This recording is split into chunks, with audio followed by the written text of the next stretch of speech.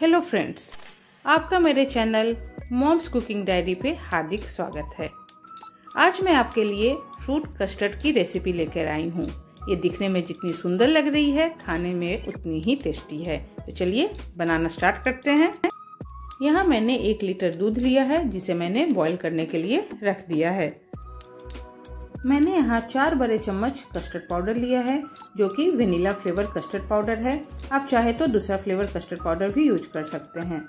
मतलब एक litre milk के लिए चार चम्मच कस्टर्ड पाउडर यदि आप आधा लीटर दूध का बना रहे हैं तो आप दो चम्मच कस्टर्ड पाउडर यूज़ करें।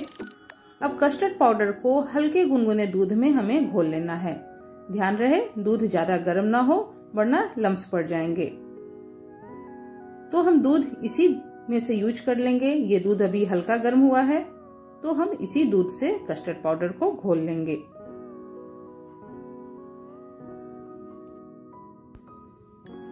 हमने कस्टर्ड पाउडर को घोल लिया है। ये देखिए बिल्कुल लम्स फ्री ये घोल चुका है। अब हम इसे साइड में रख देंगे। दूध में बॉयल आ चुका है। इस स्टेज पे हम इसमें शुगर ऐड करेंगे। ये फोर टेबल स्पून शुगर है, जितना कस्टर्ड पाउडर उतना ही चीनी। हम शुगर डालकर इसे अच्छी तरह मिला देंगे। अब हम जो घोल कर रखा हुआ कस्टर्ड पाउडर था, वो इसमें मिक्स कर देंगे। कस्टर्ड पाउडर मिक्स करने के बाद हमें इसे लगातार चलाते रहना है, वरना कस्टर्ड जो है वो पेंदी से चिपक जाएगा।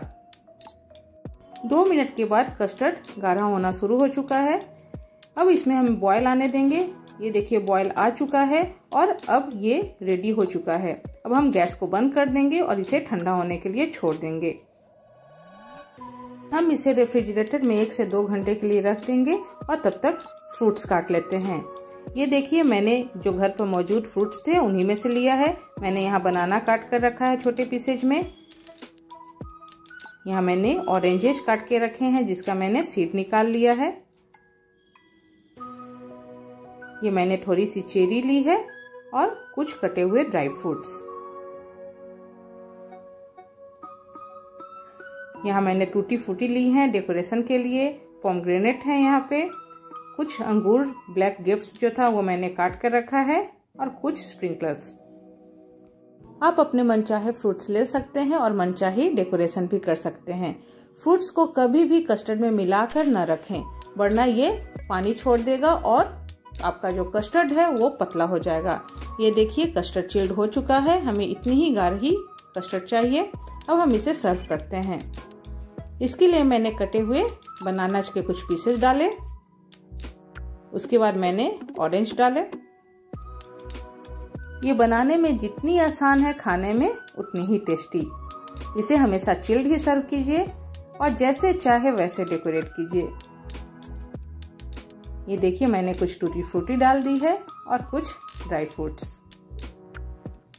इसे हमेशा चिल्ड ही खाइए और घर वालों के साथ एंजॉय कीजिए। ये देखिए, ये कितना सुंदर लग रहा है।